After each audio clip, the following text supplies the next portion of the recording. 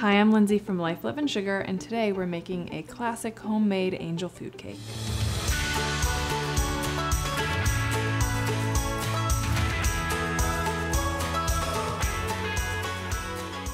This angel food cake is super light, fluffy, and tender, and it comes together with only six ingredients. It's got amazing flavor and is way better than any store-bought version you could buy. So to get started, you're gonna have your flour. We're gonna add half of our sugar to it. It's just white granulated sugar and a little salt.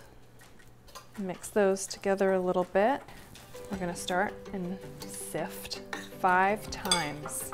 This part's definitely a little tedious, but it's well worth it when you get that light and airy crumb.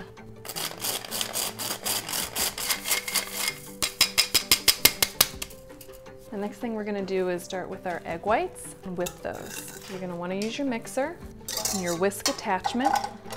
We'll go ahead and start whipping these egg whites until they get a little bit frothy.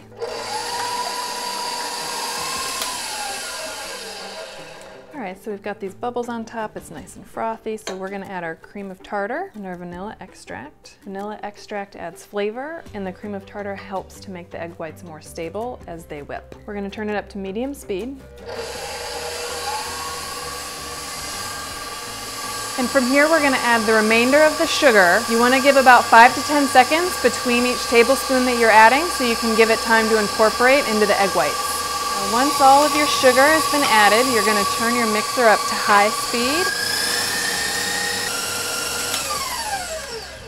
All right, see where they're at.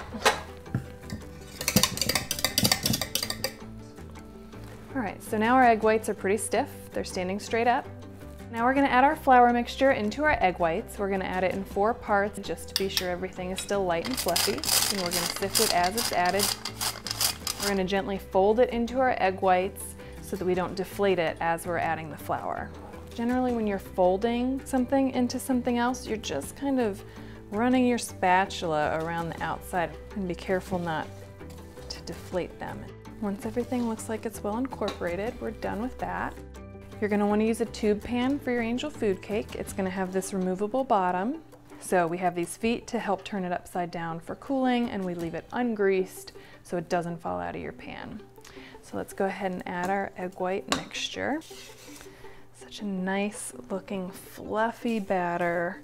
Just get you so excited to eat it when it's done because you just know it's gonna be amazing. So once you've got your batter in your pan, I like to use my trusty offset spatula to spread it around evenly.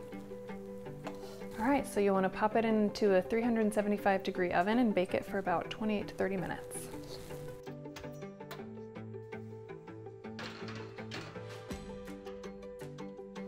All right, so once your cake comes out of the oven, you're gonna wanna flip it over so that it cools upside down and doesn't deflate. So this is where the feet on the pan really come in handy as you flip it over.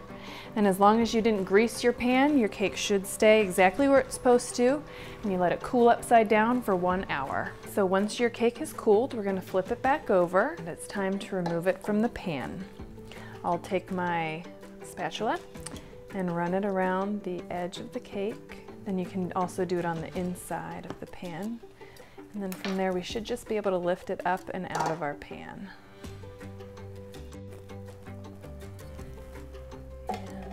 All right, so you're just gonna flip that over and out and onto your cake stand. From there, you can serve it just as it is. You can serve it with some whipped cream, fresh berries.